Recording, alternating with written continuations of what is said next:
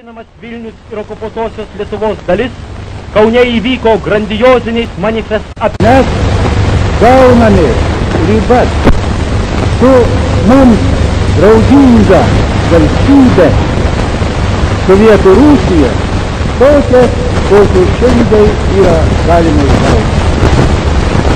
Su mūsų didžiuoju kaimynu visą laiką buvo draudingi santykiai, yra draudingi ir turi būti ateis draudingi. Nes kaimyno sugyvenimą ryšiai mus glaudžia arčiau.